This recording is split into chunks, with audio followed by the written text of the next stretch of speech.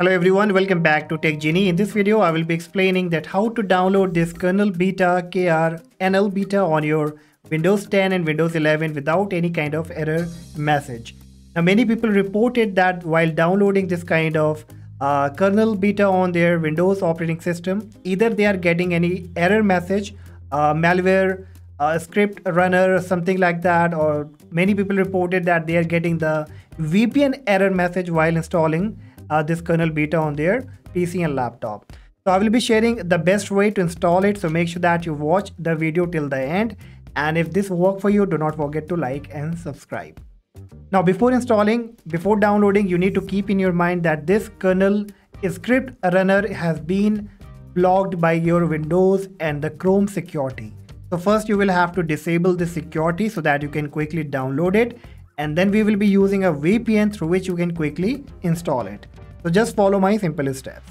So on your Windows 10 and 11, click on the search box, type here virus. From the suggestion, choose virus and threat protection. Now here you will find virus and threat protection setting. So under that, you will get an option of manage setting. Click on it.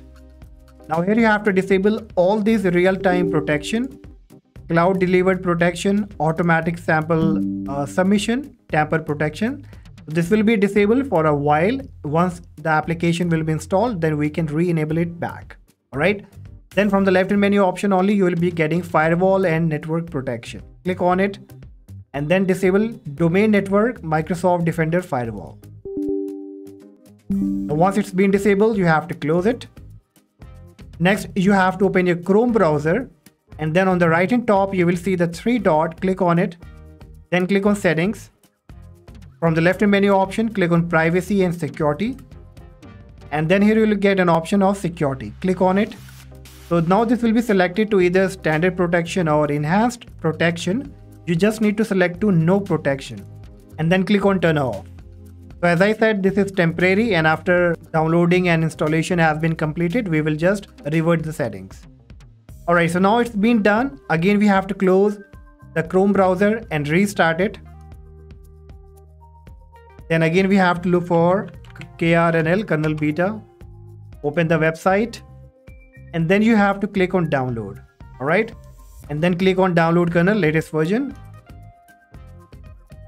You will be getting a message that it has been blocked. So you will be getting an option of keep now. So you have to click on keep. Once downloaded, you have to open the folder where it's been downloaded. Alright, now before installing it, next what you will have to do, you will have to get a VPN install on your computer, okay? So you can just go with the Proton VPN that I would recommend you that is free for a while and that will surely do your work. Okay, so I will leave the link in the description. You have to download and install it. And once installed, you will be getting such kind of page. Now you need to connect to a different country like Germany or Australia or Netherlands wherever this application has not been blocked. Okay, so let's say I will connect to Netherlands. So click on connect. And once connected, again you have to pin that downloaded file and click on kernel beta. Try to install it. So now you can see it's installing now, downloading kernel.dll, kernel.exe, and we are not getting any kind of error message that was related to the VPN required or anything, okay? Now you can see it installing and the application is up now. So hopefully guys this will work for you as well. And if yes do not forget to like and subscribe. For any question let me know in the comment section. Till then take care. Bye bye